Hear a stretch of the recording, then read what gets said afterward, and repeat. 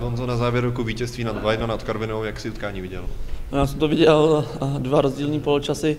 První poločas jsme mohli vyhrát 4-5-0, ale i tak jsme dali dva góly a hra byla fakt dobrá. Tlačili jsme soupeře vlastně celý poločas. Za ten, ten druhý poločas do něj vstoupíme nepřesný, nepřesnost má. Pak asi celý všichni nervózníme, nedostupujeme hráče, ty se otáčejí na půlce a no, prostě se nám ta hra rozpadne a prakticky už to jen dohráváme a to je chyba, no. To asi budeme chtít, tu, asi budeme chtít Slávy do konce, do konce roku trápit a ještě ji předehnat, tak ty druhý poločas se budeme muset zlepšit. Ten tvůj gol, tam byl parádní centr od Kovyho, byla to třeba nějaká předem sehraná akce domluvená? Tak domluvená ne, ale tak uh, už se známe strašně dlouho, vím, Kovy, Kovy, Kovy tohle to prostě umí to tam dát do té kapsy a já jsem tam běžel, dá se říct naslepo na tu přední tyč, jsem strhával a on mi to dal přímo do kroku a já jsem to vlastně jenom uh, nastavil nohu a, a, a trefil jsem to na přední tyč. No. Jak bys obecně zhodnotil ten půl rok teďko? Musím říct, že můžeme být stoprocentně spokojení v, v lize mistrů, krásný zápasy, postup do jara a, a, a i v té lize. Sice ta hra nikdy nebyla taková, jak jsme si představovali, ale těch bodů máme uh, strašně moc a jen, že Slávě prostě měla tu formu o trošku lepší, tak, tak skončila před náma, ale to prostě takových bodů, co oni získali, prostě těž, těžký dohnat. No. Jaký máš vlastně teď nejbližší plány na volný čas?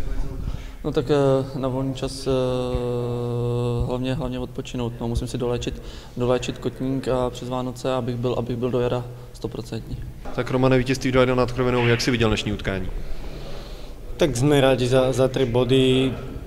Hlavne ten prvý polčas z našej strany bol výborný, veľa šancí, pekné kombinácie, hrali sme naozaj dobre. Druhý počas už bol trošku slabší, ale zvládli sme to na tri body, to je dôležité.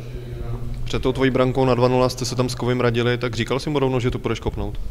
Mm, áno, dohadovali sme sa, my sa vždy, vždy pred tým priamým kopom nejako dohadujeme, myslím, že pred tým zápas eh, kopol si on priamy kop, tento raz som z toho kopol ja, on bol s tým úplne v pohode, takže, takže žiadny problém.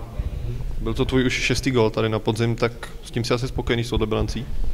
Tak ja som není žiadny nejaký veľký strelec a, a tých gólov nedávam až tak veľa, takže ja som za každý rád a to, že ich bolo 6 túto sezónu, ja si myslím, že to je pekné, pekné číslo a som za to rád samozrejme. Jak bys obecně ten první půl rok ve Viktorce zhodnotil? Tak čo sa týka mňa osobne, ja som to veľmi spokojný, ja si myslím, že že aj výsledkové, aj sme to zvládli výborne, Ligu majstrov sme odohrali výborne, Ligu sme odohrali super, takže škoda, škoda možno toho pohára, že sme vypadli, ale, ale já to hodnotím pozitivně. Po zápase to byl ohňostroj vlastně k takovému rozloučení s fanoušky, tak co bys jim třeba skázal za ten půl rok, za jejich podporu?